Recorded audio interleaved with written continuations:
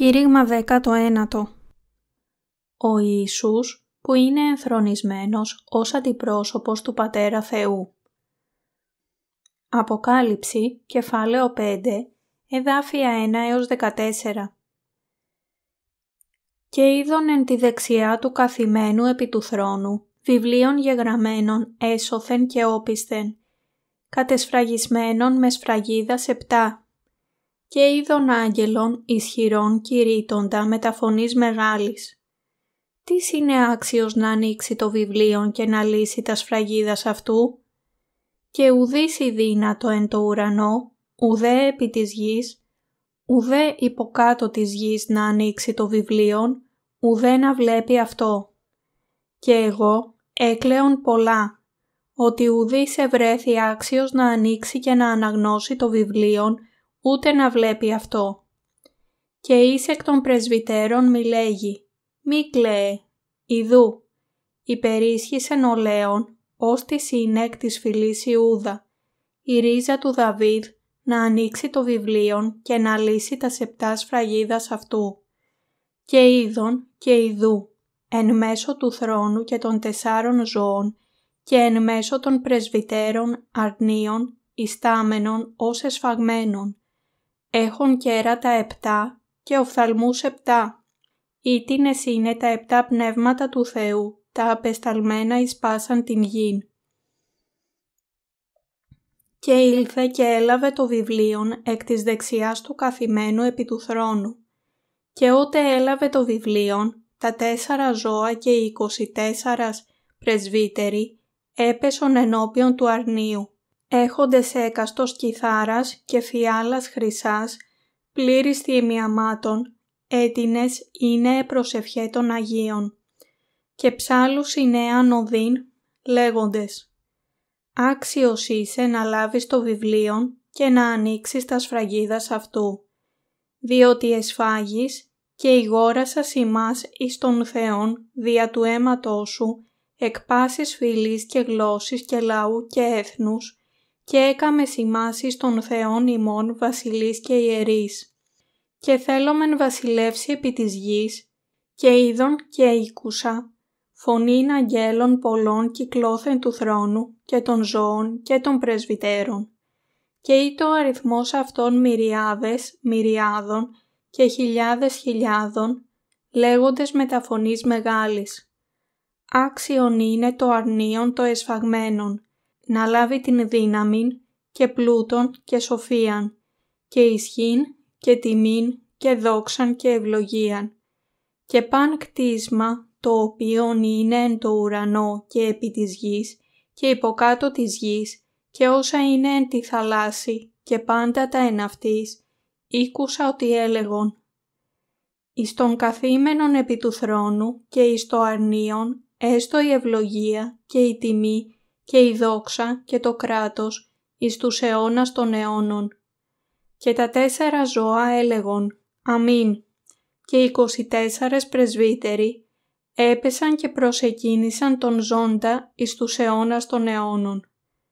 Εξήγηση Στίχος 1 «Και είδον εν τη δεξιά του καθημένου, επί του θρόνου βιβλίων γεγραμμένων έσωθεν και όπισθεν κατεσφραγισμένων με σφραγίδα σεπτά. Εδώ λέει ότι ο Πατέρας Θεός έχει στο δεξί του χέρι ένα βιβλίο σε μορφή κυλίνδρου, σφραγισμένο με επτά σφραγίδες. Ο Κύριος μας Ιησούς Χριστός πήρε αυτόν τον κύλινδρο που κρατούσε στο δεξί του χέρι ο Πατέρας, εννοώντας ότι στον Ιησού δόθηκε όλη η εξουσία του ουρανού. Στίχη 2 έως 4 και είδων άγγελων ισχυρών κηρύττοντα με τα φωνής μεγάλης. Τις είναι άξιος να ανοίξει το βιβλίο και να λύσει τα σφραγίδας αυτού; Και ουδής η δύνατο εν το ουρανό, ουδέ επί της γης, ουδέ υποκάτω της γης να ανοίξει το βιβλίο, ουδέ να βλέπει αυτό; Και εγώ έκλαιον πολλά, ότι ουδής ευρέθη άξιος να ανοίξει και να αναγνώσει το βιβλίο, ούτε να βλέπει αυτό. Δεν υπήρχε κανένας εκτός από τον Ιησού που θα μπορούσε να κρίνει τον κόσμο, να δημιουργήσει τους νέους ουρανούς και τη νέα γη και να ζήσει μέσα σε αυτούς με τους Αγίους ως αντιπρόσωπος του Θεού Πατέρα. Στίχος 5 «Και εις εκ των πρεσβυτέρων μη λέγει, μη κλαίε, ιδού, υπερίσχυσεν ο Λέων ως τη σύνεκ της φυλής Ιούδα, η ρίζα του Δαβίδ να ανοίξει το βιβλίο και να λύσει τα σεπτά σφραγίδας αυτού.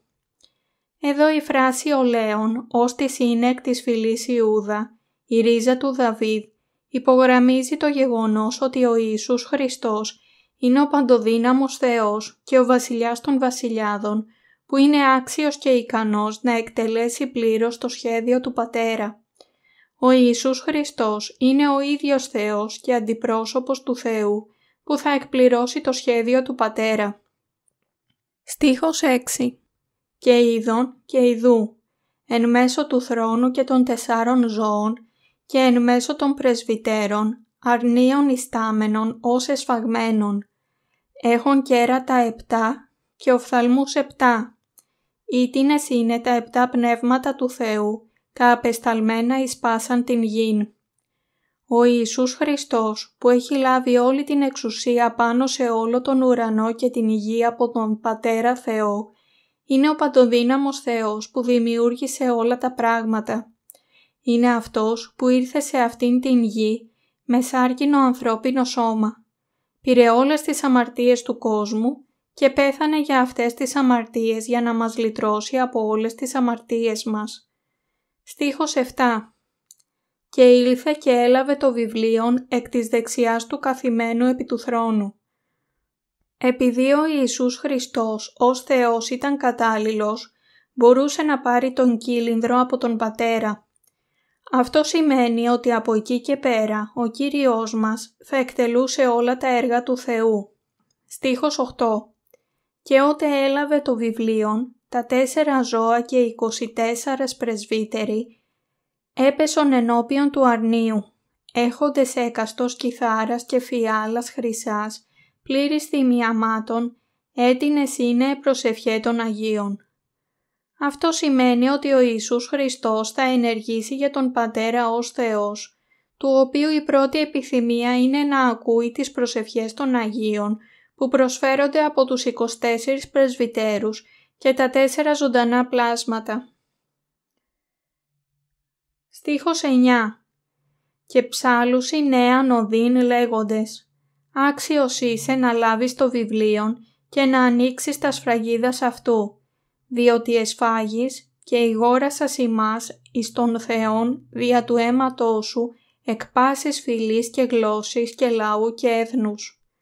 Εδώ ο Ιησούς Χριστός δοξάζεται από τους λειτουργούς του ουρανού αφού έγινε αντιπρόσωπος του Θεού οι λειτουργοί του ουρανού δόξασαν τον Ιησού Χριστό, που έσωσε τους αμαρτωλούς σε αυτήν την γη από τις αμαρτίες του κόσμου. Ενώ ήταν σε αυτήν την γη, ο Ιησούς βαπτίστηκε από τον Ιωάννη και πέθανε στον Σταυρό για να σώσει τους αμαρτωλούς από όλες τις αμαρτίες του κόσμου και εξαγόρασε αυτούς τους αμαρτωλούς για τον Πατέρα, πληρώνοντας την ποινή της αμαρτίας με το αίμα του. Γι' αυτό οι λειτουργοί του ουρανού δοξάζουν τα δίκαια έργα εκείνου που έχει γίνει Θεός τους. Στίχος 10 «Και έκαμε σημάσεις των Θεών ημών βασιλείς και ιερείς και θέλομεν βασιλεύσει επί της γης.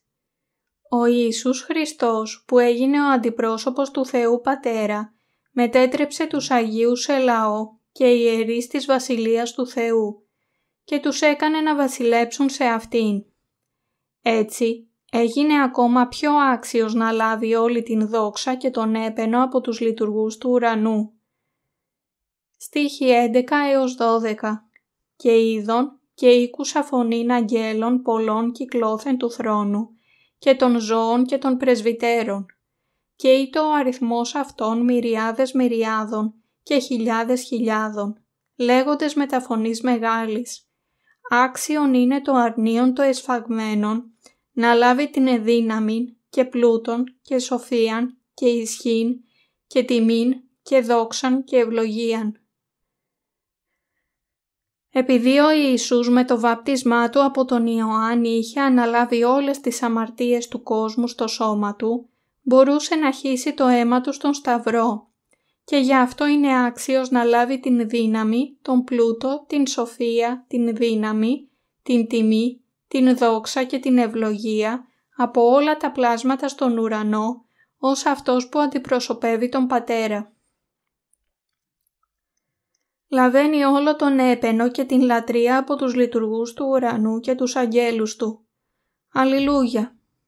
Δοξάστε τον Κύριο! Γύρω από τον θρόνο του Θεού ήταν τα τέσσερα ζωντανά πλάσματα και 24 πρεσβύτεροι. Δόξαζαν τον Θεό που ελευθέρωσε όλες τις ψυχές από την αμαρτία επειδή η δόξα του είναι ατελείωτη. Στίχη 13 Και παν κτίσμα, το οποίο είναι το ουρανό και επί της γης και υποκάτω της γης και όσα είναι εν τη θαλάσση και πάντα τα εναυτής, ήκουσα ότι έλεγον «Εις τον καθήμενον επί του θρόνου και εις το αρνίον, έστω η ευλογία και η τιμή και η δόξα και το κράτος εις τους αιώνας των αιώνων». Και τα τέσσερα ζώα έλεγον «Αμήν». Και 24 πρεσβύτεροι έπεσαν και προσεκίνησαν τον ζώντα εις τους αιώνας των αιώνων. Τέλος, ο Ιησούς Χριστός, που έγινε ο αντιπρόσωπος του Θεού, αναστήθηκε ως άξιος να λάβει όλο τον έπαινο και την λατρεία από τους λειτουργούς του ουρανού. Όλοι οι λειτουργοί του ουρανού του έδωσαν την ευλογία, την τιμή και την δόξα για πάντα, επειδή αυτοί ήταν τόσο κατάπληκτοι και ευγνώμονες που ο Θεός ήταν τόσο άξιος. Όλοι οι Άγιοι και στον ουρανό και στην γη πρέπει να δώσουν την δόξα και την τιμή σε Αυτόν που είναι ενθρονισμένος ως ο αντιπρόσωπος του Θεού Πατέρα.